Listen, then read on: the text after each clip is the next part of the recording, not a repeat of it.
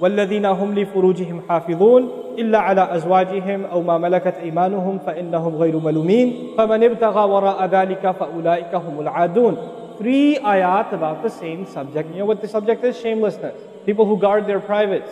We live in the ultimately shameless world today. The world in which streaming videos off of any website are available on your mobile device.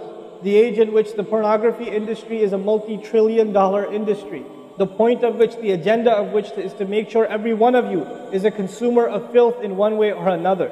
That every man, woman, and child is exposed to this stuff, and they're hoping you are, so you become addicted to it, so you become yet another consumer. This is the gift of pornography to society. It's creating people, turning people into animals and perverts. And some of you, unfortunately, have that addiction. And you're watching this stuff online, and you're watching it and saving it on your apps and your mobile devices. And you don't feel bad about it anymore. You've justified it to yourself and you feel bad about it once in a while, but you go back to it. And as a result, you think, oh, well, not, at least I'm not hurting anybody. At least I'm not doing it to anybody else. I'm just watching this stuff. It's okay. But you know what's happening to you? Inside, your soul is being just gutted. You have no soul left inside of you. So your prayers are empty and you can't even shed a tear in your salat because your heart is so devoid of the fear of Allah because of the filth you've been watching all this time. It's turned you from a human being into an animal. So you can't even look. A woman passes by and you, look, you see a piece of flesh walking by. You don't see a human being walking by that deserves respect. You check everybody out and everything out. You're constantly gawking and staring. You, can, you have a hard time putting your eyes down when you're on the subway, when you're on campus, when you're at work, you're walking down the street, you know, you just can't help. You see a billboard, you look at you take a second look, you see a third look. You don't miss any opportunity to just violate your soul with your eyes. Addicted completely. And then you say, brother, how do I get khushu and salat? What world are you living in? What world are you living in? Ayyuhal ikhwa, my brothers, specifically my brothers. And I know some sisters have this issue too. It's not a, a sad reality. This is a war. This is a war. This is more dangerous than any military war. This is the war that's destroying our souls. It's making its way into our home. It's making its way, you know, if I want to protect my children from this stuff as much as possible. But when my child goes to school, and it doesn't matter if it's Islamic school, there's a very high statistical likelihood that someone, a friend, with their iPod, with their mobile device, will say, hey, look at this. It's a, it's a very realistic, you know, thing nowadays. It's not far-fetched. And so I have to prepare my children for the filthy world that they're, they're going to be brought up in. And there's no escape from this stuff anymore. There isn't. It's everywhere. It is everywhere. You have Islamic lectures followed up by, you know, those YouTube puts those follow-up clips, and something will be filthy. Something will have to be filthy. And I don't think that's by accident. I'm not much of a conspiracy theorist, but I'm, I don't think that stuff is an accident. And what happens to you guys is you watch a video, you see something filthy, you click it, you click something else, you click something else, and you end up watching disgusting things. That's what happens to you. وَالَّذِينَ هُمْ لِفُرُوجِهِمْ حَافِظُونَ Especially when it comes to their privates, they guard them. They guard their shame. Brother, what's the solution? Should I get married? Like the guy who asked the other day, how can I get married right now? No, guys, the solution is not marriage. Because if you're a pervert, then you're going to be a pervert after marriage too. If you have no shame now, you will have no shame after marriage. Honestly. You, you think marriage is going to end your problems? No. Your problem isn't marriage. Your problem is spiritual in nature. Your problem is psychological in nature. You need help. You need to stop this. You need to stop hurting yourself like this. You will have nothing, there will be nothing left inside you.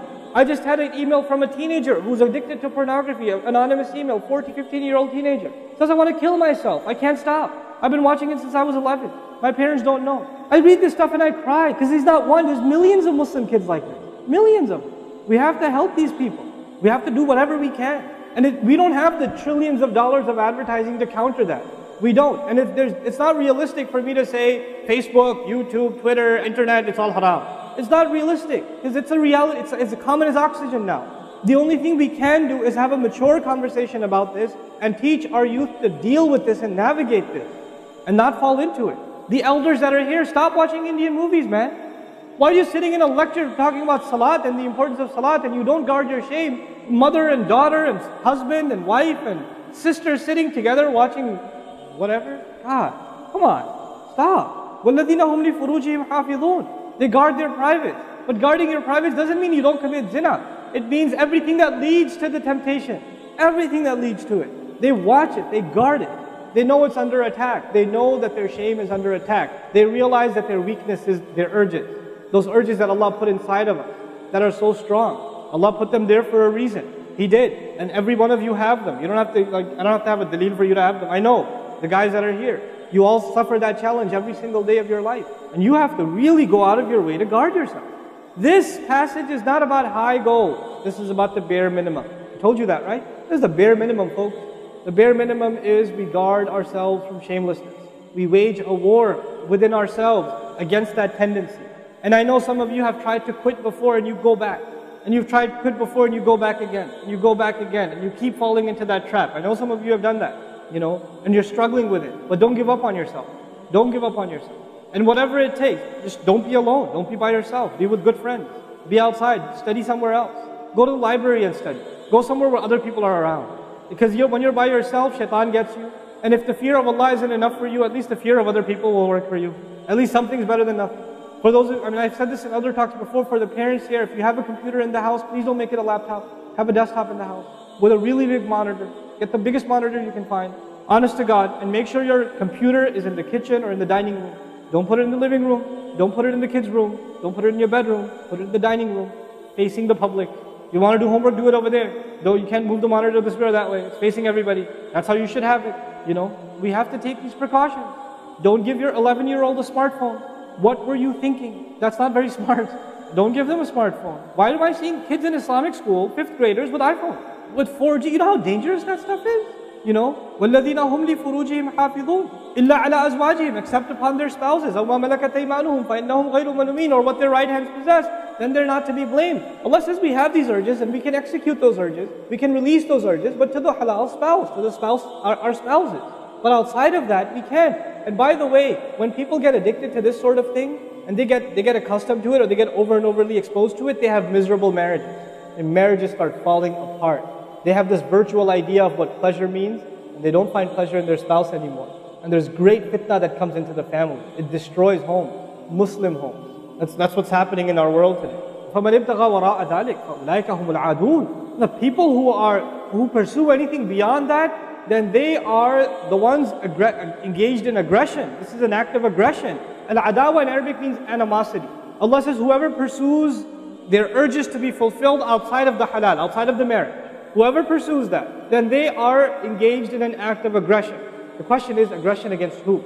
Because when you say enemy, you have to say enemy of who? If they've become an enemy, who have you become an enemy to? Allah didn't mention a maf'ul bihi, no jar majroor, nothing related to it. You know what that means? They are an enemy to themselves, their family, they become an enemy even to Allah's teaching. You know, these are the kinds of people. The most important asset you and I have is our hearts. And this shamelessness destroys the heart. It destroys it. The most precious thing you and I have to preserve is our iman. And this, this, these filthy images destroying your iman. They're tearing your iman apart. Don't let it happen to you. Do not let it happen to you. And I, I can only talk about this. I can't stop you from doing anything. And nobody else can. You will have to police yourself. You will have to control yourself. You'll have to make the decision, is my iman important enough? Is my salat important enough?